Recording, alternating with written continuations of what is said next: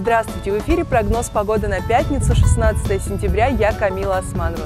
На календаре Международный день охраны озонового слоя.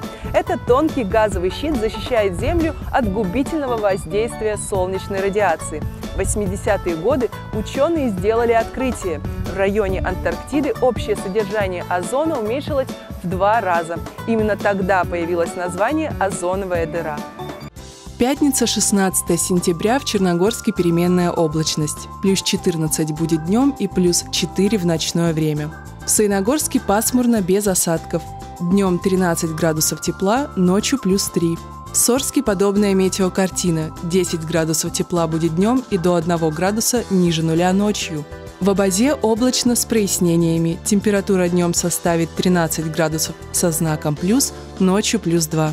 В Абакане без осадков. Днем 14 градусов выше нуля, плюс 3 будет ночью. Ветер северный, атмосферное давление повышено и составит 746 миллиметров ртутного столба. Это был прогноз погоды. Всего вам самого доброго.